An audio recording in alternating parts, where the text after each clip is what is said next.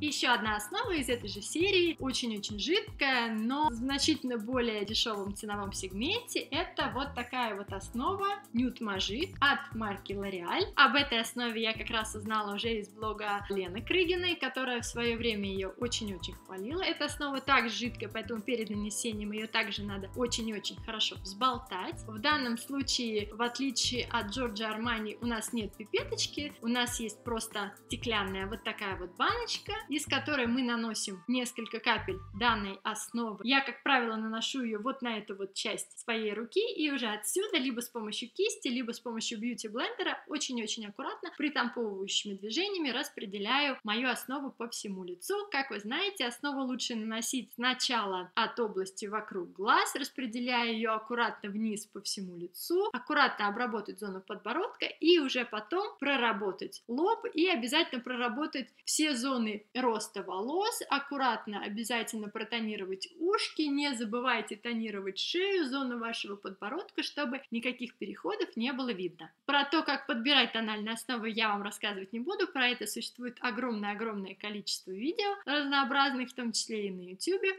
У меня есть еще несколько тональных основ, которыми я в данный момент пользуюсь нечасто, но о которых тоже хотелось бы рассказать. Это, во-первых, вот такая вот тональная основа от Clinique. Она называется Moustache Search. Это Tinted Moisturizer SPF 15. Я его покупала несколько лет назад. На тот момент у меня еще не было ни BB, ни CC крема от Bobbi Brown. И также у меня не было моей SPF защиты с тинтом от марки La Mer, которыми я очень активно пользуюсь в последнее время и вот тогда я с удовольствием пользовалась данной основой, которая легкая, которая очень активное увлажнение, в которой, как я уже сказала, SPF 15 и которая очень-очень хорошо смотрится на лице. Опять же, ее я с удовольствием наносила пальчиками. Неплохая основа, вполне и вполне приятная. Из основ, которые смотрятся очень и очень натурально и естественно, я выбрала вот такую вот основу от марки Lancome. Это Маки Мат Ультра Натюрель. Опять же мат, потому что у меня кожа комбинированная, склонная к жирности. Так вот, эта основа специально для нормальной и жирной кожи. Вот такая вот небольшая туба с вот таким вот носиком-дозатором. Данной основой пользуюсь периодически. Опять же, если ее правильно нанести тонким аккуратным слоем, ее можно наносить и с помощью бьюти-блендера, и с помощью пальцев, и с помощью кисти. Она скроет все несовершенства вашей кожи и будет очень-очень хорошо смотреться на вашей коже, придавая ей молодой здоровый вид. По поводу марки Lancome я уже несколько месяцев очень и очень хочу попробовать знаменитый кушон от марки Lancome. Все как-то у меня руки не доходили, обязательно в ближайшее время все-таки попробую его приобрести и обязательно расскажу вам свое мнение о данном продукте. Правда, очень-очень интересно качестве еще одной основы для корректирования именно моей жирной комбинированной кожи у меня есть вот такое вот средство от марки Clarins. Clarins Evermatte. Это Skin Balancing Foundation. Это очень хорошая основа именно для комбинированной и жирной кожи, которая помимо того, что будет корректировать цвет, она будет еще и работать над вашей кожей, ее балансировать и регулировать выработку себума. Данная основа будет очень-очень неплохо носиться. Я с удовольствием ей пользовалась долгое время, до того, как, собственно, перешла на Estee Lauder. Вот на данный момент мне Estee Lauder нравится немножко больше, но, в принципе, вот эта вот основа Evermatte от Clarins тоже очень и очень хороша. Наносится также она пальцами. Я, в принципе, приверженница того, что большинство основ лучше всего наносить пальчиками, потому что мне кажется, что ваши ручки смогут растушевать и нанести основу лучше, чем какие-либо другие приспособления. Хотя периодически прибегаю к помощи бьюти-блендера и тоже остаюсь очень-очень довольна результатом. Честно говоря, кисти как таковые для нанесения основы я не очень люблю, и, как правило, как я уже сказала, я наношу основу либо с помощью пальцев, либо с помощью бьюти-блендера.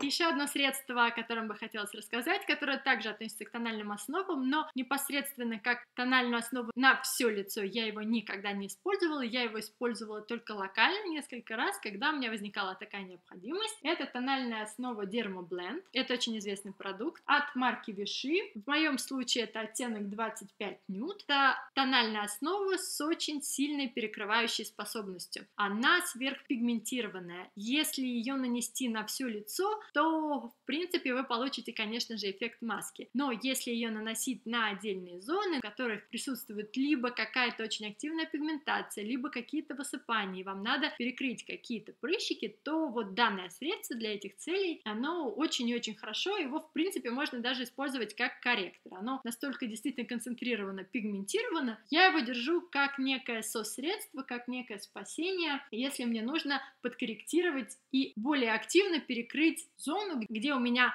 появились какие-то очень активные высыпания. Опять же, повторюсь, на все лицо я данную основу наносить не рекомендую, ну, если у вас для этого нет каких-либо серьезных оснований, просто потому что очень большая вероятность того, что у вас будет именно эффект маски. Основа, которую я не совсем поняла, которую я попробовала, но в результате достаточно редко ей пользуюсь, это вот такая вот основа от Christian Dior Air Flash Spray Foundation, то есть это основа в виде спрея. Я так понимаю, что идея возникла от профессиональных аэрографов для того, чтобы максимально тонким слоем ее нанести. Вот в данном случае это основа спрей. В инструкции написано, что вы встряхиваете баллончик и с расстояния 15-20 сантиметров, закрыв глаза, прошу прощения, 20-30, конечно, сантиметров, закрыв глаза, вот такими вот несколькими круговыми движениями наносите данную основу на ваше лицо. Я попробовала сделать подобную процедуру несколько несколько раз. Действительно, основа на лицо ложится достаточно ровно и хорошо. Единственный минус, что она также хорошо и ровно ложится и на зону ваших волос, и на одежду. И если вы чуть резко дернули рукой, то, соответственно, вы усвинюкиваетесь вся. И если в аэрографии вот этот вот сам пульверизатор, распылитель, он очень маленький, и, соответственно, визажист, он очень зонально, очень точечно вводит по вашему лицу, то в данном случае пульверизатор достаточно большой, поэтому нанести данную основу без какого-то активного вреда для ваших волос и вашей одежды мне показалось достаточно проблематично, поэтому вот она у меня лежит в моем ящичке и пользуюсь я ей достаточно редко. И еще одно средство, о котором хотелось бы рассказать, это вот такая вот основа от марки Terry. Это Hydro Bronzing Tinted Serum. Это, в принципе, такой вот легкий-легкий бронзатор. Это не столько основа в смысле foundation, это именно Tinted Serum. То есть это такое вот легкая сыворотка, которая дает вашей коже, она с вот таким вот дозатором, эффект легкого-легкого загара. Если это не бронзер, который вы наносите на отдельные зоны вашего лица, да, а если вы понимаете, что вы слишком бледная и вам надо на полтона или на тон откорректировать цвет вашей кожи и чуть его освежить и придать ему эффект такого легкого-легкого первого солнышка, то вот данное средство, оно очень-очень неплохо для этих целей. И, собственно, я его на этот случай и держу. Плюс его я использую для легкой цветокоррекции моей кожи в тот момент, когда я уже немножко загорела, потому что большинство моих тональных основ, они в цвете моем базовом, когда я совсем без загара, после того, как я немножко хотя бы загораю, я перехожу либо на BB крем, либо на CC. Они достаточно хорошо подстраиваются к оттенку моей кожи, либо я пользуюсь вот таким вот средством от марки Terry. И последняя моя тональная основа, о которой бы мне сегодня хотелось вам рассказать, это вот такая вот основа от марки Avena. Это Tinted Compact. Это такая компактная тональная основа с SPF защиты 50. Кстати, очень хорошая SPF защита. С вот таким вот спонжиком для нанесения, небольшим зеркальцем. И вот, собственно, вот она сама тональная основа.